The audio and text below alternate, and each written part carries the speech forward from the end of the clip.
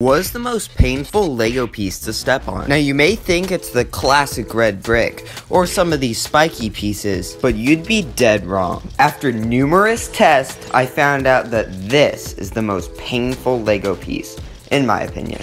So,